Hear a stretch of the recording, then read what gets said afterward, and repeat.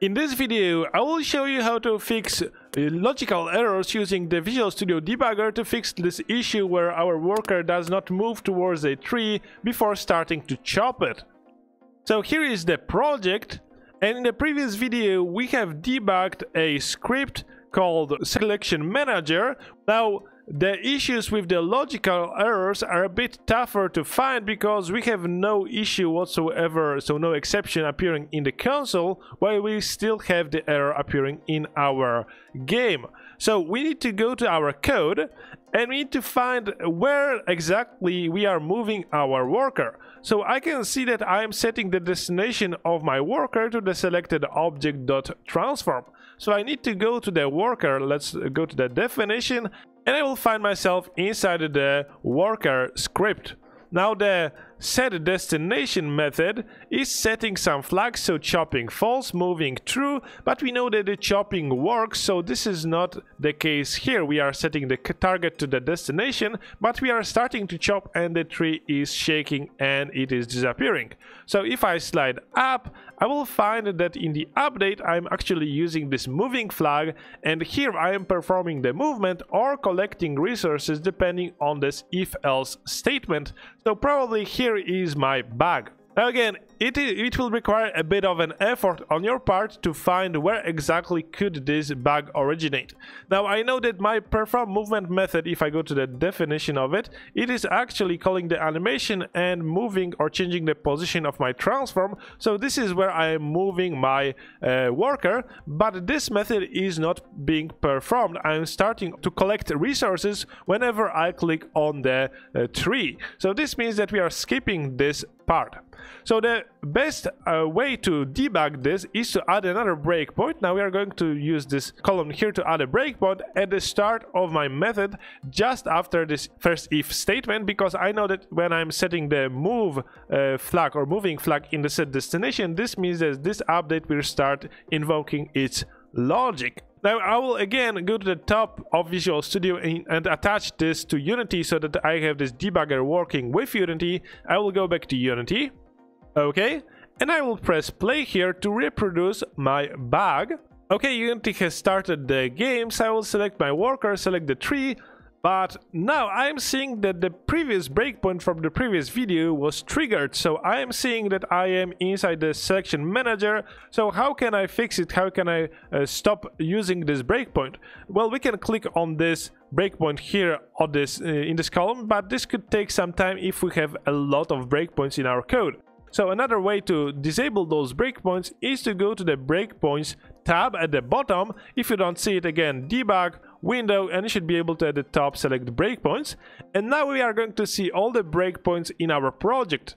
Now we can uh, disable all of those or delete all of those. As you can see, if we click on those, we can disable them, meaning that they will not trigger the code pause.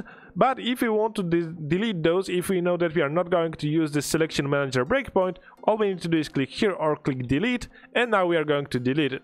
Now to continue, we need to at the top click continue and now we are going to go to the next breakpoint which is in our update method of the worker. That's exactly what we wanted to check. Now it is good idea to place those breakpoints as high as we can inside our method so we can step by step go through each of those lines and see what is going on.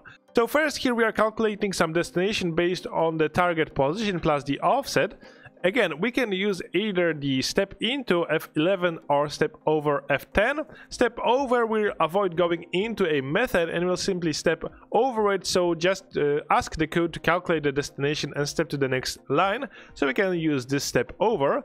And now we know that the destination is this value.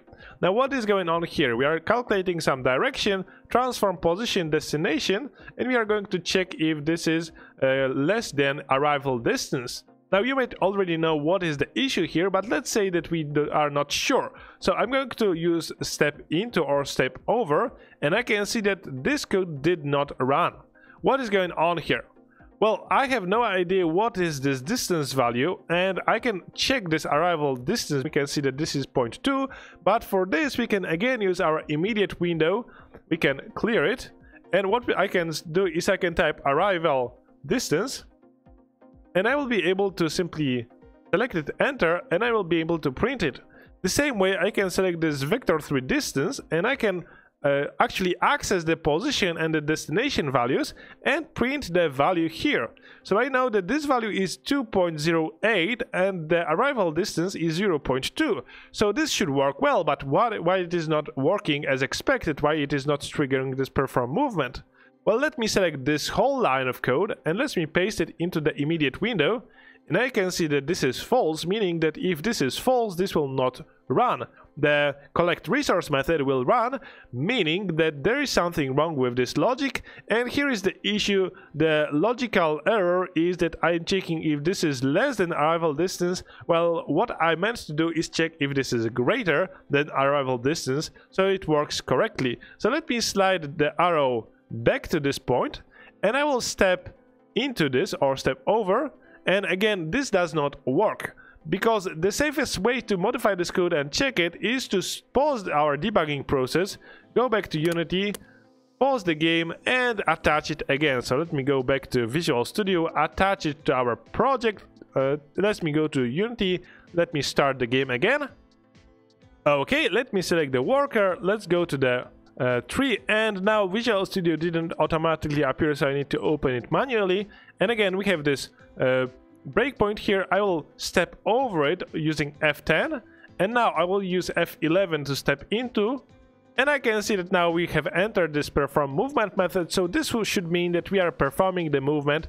Let me stop this debugging process because that's basically what was not invoked. Let me go back to Unity. And we can see that our uh, worker is actually moving towards the tree. But we have a new issue. As I can see, the uh, amount of wood is not modified. So this means that if I select my other tree and if I start chopping it, it should add one wood per each chop, but it is constantly staying at one. So this means that there is some issue with the calculation of the value of the wood resource. So that's what we are going to tackle in the last video of the series. I will show you how to use watch window and the data tips to, to verify the amount that is set here and to fix this kind of calculation bug. But again, this will require us to research a bit of how this value is actually set. Okay, see you in the next video.